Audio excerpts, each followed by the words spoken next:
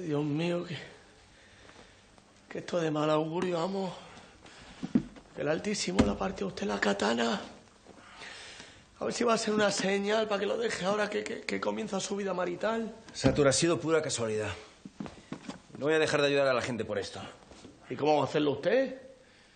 ¿Cómo va a hacerlo ahora que se ha quedado sin la katana? ¿Qué vamos a hacer, eh? Satur.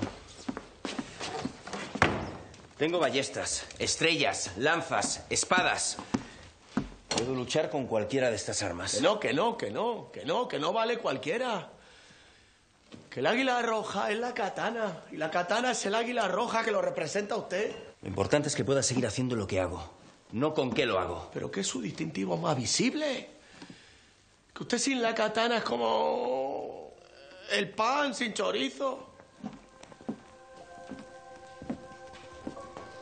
Para mí tampoco es fácil. Me la entregó Agustín. Y está conmigo desde los inicios. Pues claro. Por eso le pintan a usted los retratos con la katana. No le ponen ahí con, con un ramo petunia, no. Le sacan con la katana. No puedo hacer nada. ¡Arréglela! El pueblo se lo merece. Para ellos la katana es el símbolo de- del bien, de la seguridad. Presenta un lugar donde, donde poder echarse la siesta sin miedo a nada. Yo no sé arreglarla, Satur. Pues la lleva usted a Toledo. Que no hay acero en el mundo como, como el español. No puedo dejársela a nadie. Sabrían que pertenece al Águila Roja, me entregarían. Si eso ya lo sé, amo, pero... Satur, se acabó. Es imposible.